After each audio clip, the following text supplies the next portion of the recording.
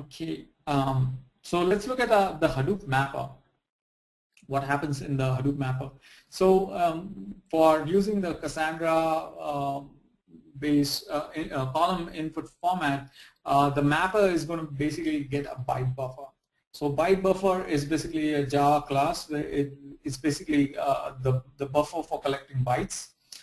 and then so the input value is basically a sorted map of byte buffer and I column. I column is something uh, as is an interface that represents your column. So I column is, is an interface defined in the, the Cassandra API um, that's uh, basically an, an interface that uh, represents a column.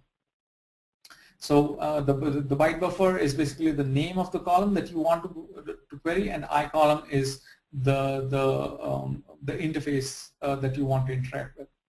Uh, so using the Cassandra byte buffer util, uh, there's, a, there's a byte buffer util class that Cassandra provides. You can effectively read and write uh, byte buffers uh, in Cassandra. Cassandra basically uses the Java NIO uh, library. So a, a, lot of use of byte buffers is, is done by Cassandra. So if you are not that familiar with, with the NIO API, um, there's a, a, utility that Cassandra provides that's called as the byte buffer util you can easily use this to read and write uh, information uh, uh, or convert byte into, into strings and string back into bytes um, um, while using Cassandra.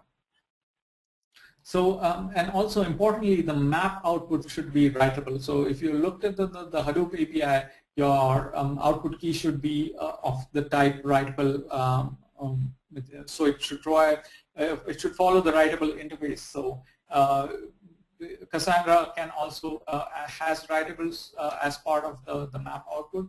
You could uh, use those uh, classes as well. So that is something that you need to take care of while you're uh, um, interacting with the Hadoop mapper that is reading data from Cassandra. How that would uh, look like, we'll, we'll, look at in the next slide. So this is typically how your Hadoop mapper code would look like. basically, your um, you can you have to define your own class um, which will extend the, the mapper uh, class from, from the Hadoop API and it will take uh, the key value uh, as inputs and the output key values information. So if you look at uh, this is basically the, the byte uh, array as, as key, the value is basically the sorted map, the byte array and the I column information. Uh, the output probably you want to save it as, as text uh, and um, um, the, the output key is going to be text, output value is going to be uh, uh. So if this is your uh, typical uh, class for the mapper implementation, if you want to read data from Cassandra, then for having column names, column name information can be also supplied via config. So uh, this can be done by setting up the con uh, context. So when you're setting the job config information, you can uh, set this information uh, as part of the configuration. And if you want to get it as part of the mapper, here's how you, here's how you do it. So basically, in, an, in a setup method which gets invoked at the start of the mapper, you could just query the context, get configuration, get column name. So if column name is the property that I'm setting at job config time, um, this is how I'm going to get the value of this. And if I get this value, I'm basically going to save the column name value here. Uh, then I initiate the, the int writable and the, the text uh, classes for uh, my, my Hadoop's uh, output and basically write my map method.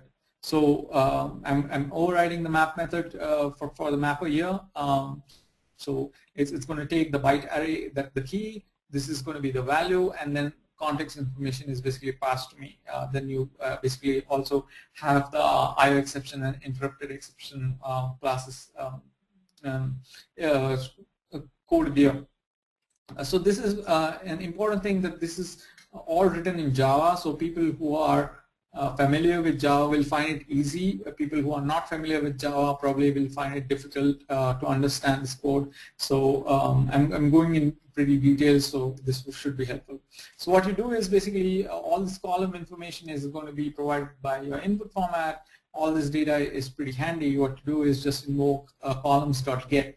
So um, if you, um, uh, since it's a sorted map, you just uh, get it and then um, the, the name column name dot bytes uh, should give you all the i column information. So uh, what it gives you is uh, the the i column class, and then based the i column um, or the i column further gives you the the values out of uh, whatever information is being read from the Cassandra API. So uh, what you can do is basically say i column column and then columns.get would give you all the i column information and then the actual values can be uh, further derived from column that value. So all this i column has a, a, value method which will give you the, the value information for that particular column. So uh, you already know the column name here. Uh, you have basically passed it here. So you already have the column name, the column value can be derived in this fashion. And then uh, you uh, say your column value is uh, delimited in sort of ways, maybe space delimited or something. You want to basically tokenize for, basically you, this example is for a word count example. So uh, supposing that this, this uh, value that you're getting is tokenized in some fashion, you can further use a string tokenizer to tokenize it. Uh, so in this case, it's default to space delimitation. You can uh, also, if it's delimited in some other way, you can provide your delimiter as, as a second argument to the string tokenizer class, and that would uh, tokenize your uh, values uh, effectively. Then what you do is basically iterate through all your values and then uh, set up the, the, the context. You just set up what the word was, basically the text, uh, that you have uh, defined here, the, the text class, and then uh, the, the value for this. Now, important thing that you do is since all your values are, are going to be 1, there's an effective optimization that you've done here that you just set the private final static and just, just say the value is 1 so you can just reuse this object without the overhead of creating new objects.